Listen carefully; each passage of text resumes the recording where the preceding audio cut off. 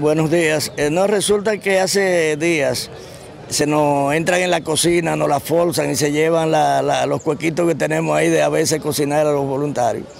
Pero luego ahora con estos camiones que tenemos, no camiones cisternas, eh, que le estamos dando servicio a la comunidad después del ciclón, y pues cada rato nos vacían el tanque del gasoil. Y entonces anoche, pues a eso de las dos y media de la mañana, de la madrugada, fue agarrado infragante una persona eh, con su galón ya lleno, su, pote lleno de... bueno, no estaba lleno, ya, él, ya él, fue a buscar lo que había dejado. ¿Era de él el camión? Sí, de, los dos camiones le, lo vacía. Y entonces ahora estamos acá, bueno, para poner formal querella, porque hay que parar eso. A cada rato nos da un golpecito. Bueno, eh, ¿Hace qué tiempo les ha estado robando el gasoil?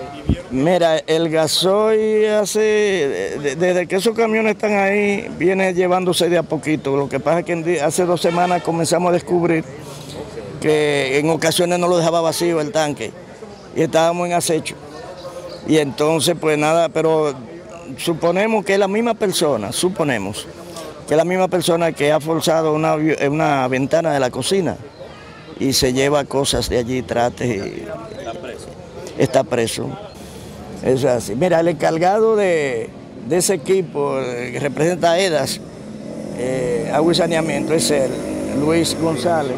Quiere decir que cualquier pregunta se la pueden hacer ya directamente a él.